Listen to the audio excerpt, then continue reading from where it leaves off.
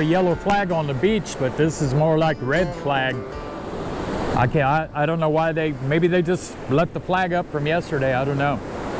Um, this is down near uh, Fish Pass Jetties, maybe a couple blocks, three or four blocks away from Fish Pass Jetties. I didn't feel like going clear out to Padre Island today, not enough time, but you can see the surf, the water clarity, I thought it was gonna be about a six today. It's more like a four where I'm at right now. Um, not extremely bad, but not good. Today, guys, we're gonna try for some pompano, some whiting, and redfish, whatever's out here. Uh, I'm gonna show you guys a couple of things because I get a lot of comments on my Facebook page and Instagram and of course on YouTube videos of what kind of equipment, what kind of lines I use and stuff like that. So I'm going to go over it real quick before we start fishing. Okay, the first thing I use when I come out here, well, one of the main things I use, especially in the winter times, is fish bites. You can't go wrong with these. And if you have multiple flavors, like you see I have easy crab, easy clam, easy shrimp, and then of course easy crab again, Sometimes I'll have easy sand flea. Um, but I also use fish gum very rarely. I like fish bites a lot better. And then I have my bag of salted shrimp. Now for weights, anything from a six ounce, which you can see right there, to the Sputnik six. I'll usually use five or four, depending on if the surf's like this, I'm just gonna use a six today. And I believe this right here is going to be a six as well. Uh, so on days when it's real rough, I'll, I'll use a six. On days when it's not so bad, I'll use a four or a three. Uh, also again, you can't go wrong with pompano rigs. These are some cheap ones I got off Amazon. I usually get some from Stanfield Tackle. The link will be underneath the description. Also, Breakaway Tackle makes some good rigs as well. I'll put that link in the description as well. But I think these are one aught, maybe, yeah, one aught uh, circle hooks. And that's all you need to be come out here surf fishing. You don't need no exotic equipment. Now for rods and reels, I go with eight foot rods. This is one of my favorite ones. Uh, this is a spin fisher and they run anywhere from 150 to 160 and then lightweight tackles you know usually under 120 130 bucks so you can see I got pompano rigs there this one over here uh, we're using pompano rigs as well that's mainly what I use out here now I do use other rigs as well and I'll use spoons on a good good day when the surf's not too bad I'll use some gold or silver spoons or top water like a rooster popper uh, that's all you need, guys. 20 pound test line, braided uh, from Reaction Tackle, and you're good to go. These are the different rigs right here. This is a bigger hook if I want to go for some big drum, big red, and uh, put some live bait on it. So I use these, and these come from Stanfield Tackle. Uh, an example of another pompano rig. This, I believe, nope, this ain't a pompano rig. This is just a single hook. Notice how small the hooks are, guys. You don't need big, gigantic hooks out here to catch fish. And these are the ones that you can buy off uh, Amazon. Uh, I'm using these temporarily until I order from Stanfield Tackle.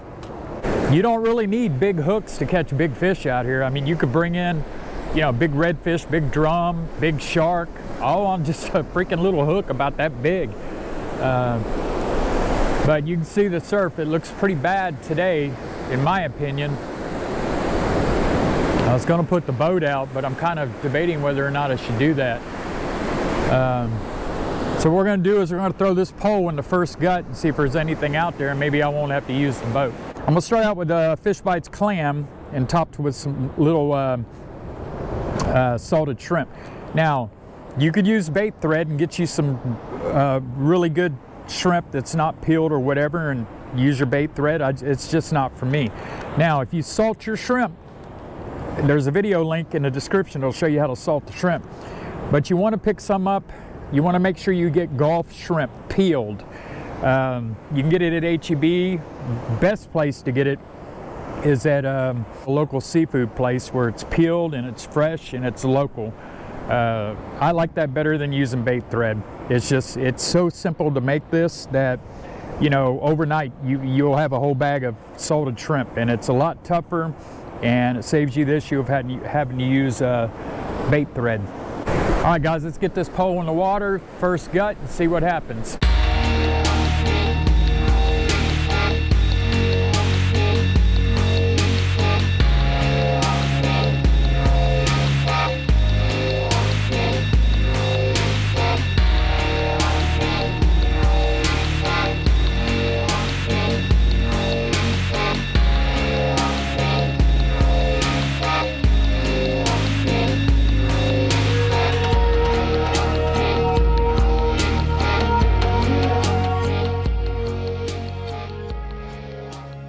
This is how your pompano rig with this small hook is going to look with a little piece of uh, fish bites and a little piece of uh, salted shrimp. And that's all you need, guys.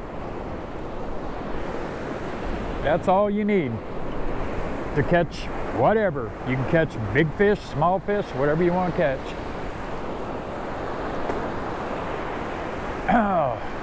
We're going to try to get it in the first gut. Not too far out because I don't want to get wet because this water is cold. That's good. Now let's see, sometimes they're in the first gut. You don't even have to get that far off the beach to catch them. What's cool, like in Florida, you don't even have to get in the water. You could just catch them right off the beach, man. So let's see how bad the current is today. Now I prefer fishing an outgoing tide than an incoming tide. That's another thing too. I get a lot of questions about if I prefer outgoing or ingoing. I prefer ingoing or outgoing tide. Low tide.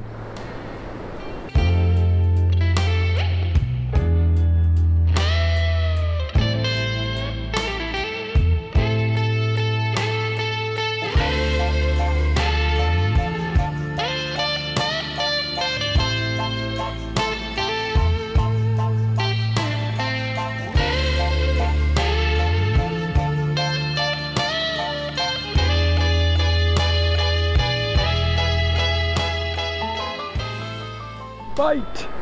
I got a bite, guys. I got a bite. Is it a big one? It's a giant one. Oh, man, what a big fish. this is the biggest one I've ever caught. oh, Lord. Oh, I think they're starting to bite, but yeah, it's a big one, man. It's a big one. This is actually one of the worst days fishing. What's it gonna be? I bet you it's gonna be a whiting. No, it's a little baby pump.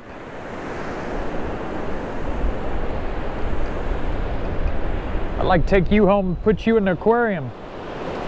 Look at that, guys. A little baby pump. Nice. Well, they like this clam, I'm telling you. Look at that. Beautiful fish, man. See if I can get him like that. Look at that.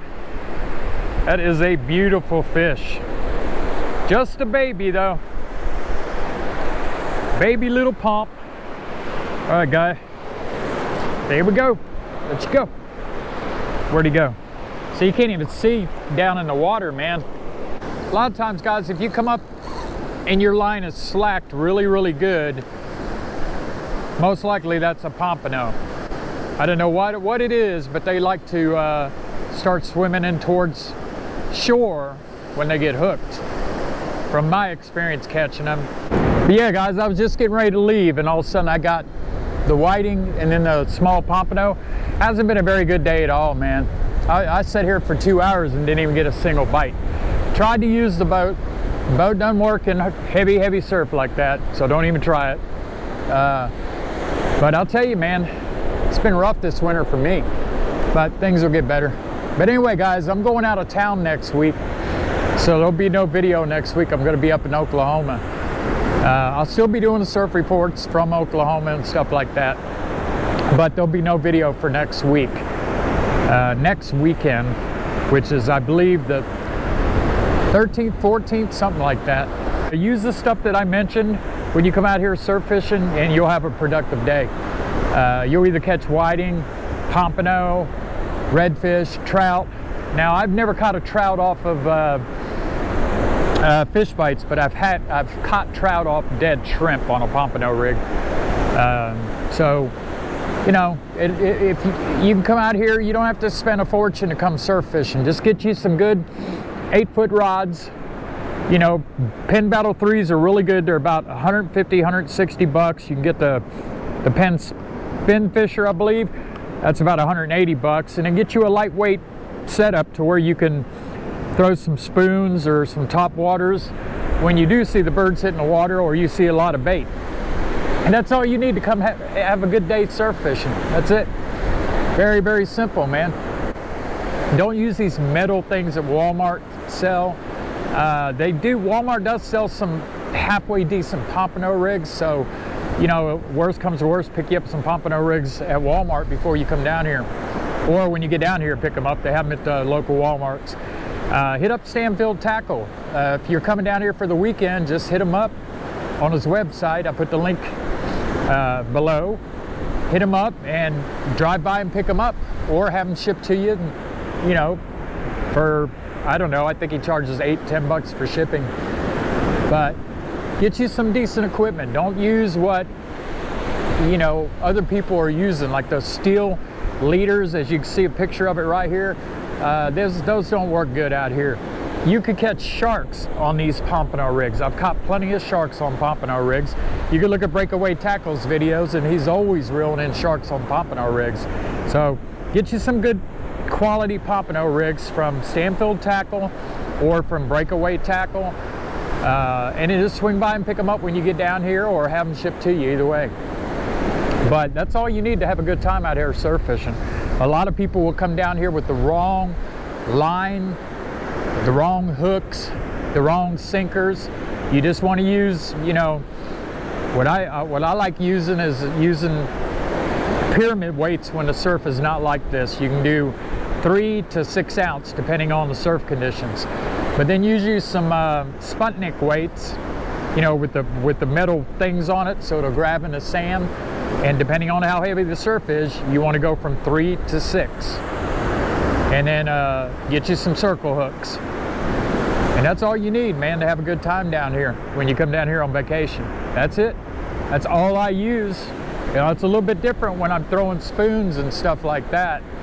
You know, I'll use either this setup here or I'll use this setup here, which, you know, I, the line got broken, but which I rarely have lines break with this 20 pound test braided.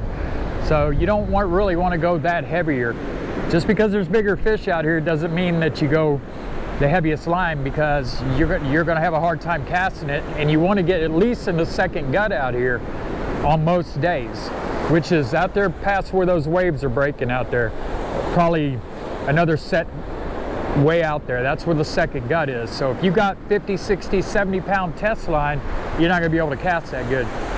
So get you good 20 pound test. I'll put all the links down in the description. You guys can go check it out.